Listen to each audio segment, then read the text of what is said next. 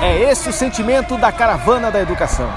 E na escola de referência Pastor José Florencio Rodrigues, no Cabo de Santo Agostinho, o tema foi inclusão.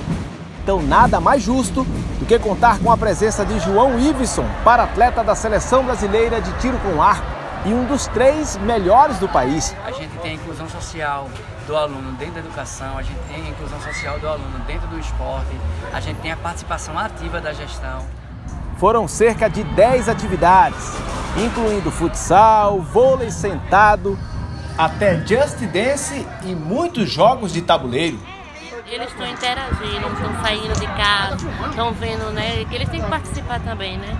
Claro que também teve entrega de materiais esportivos com o governador Paulo Câmara e o secretário de Educação e Esportes Fred Amâncio.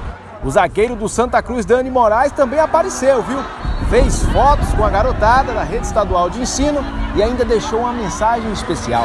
É que a gente tenha aí, né, no futuro não só é, mais craques, mas também cidadãos aí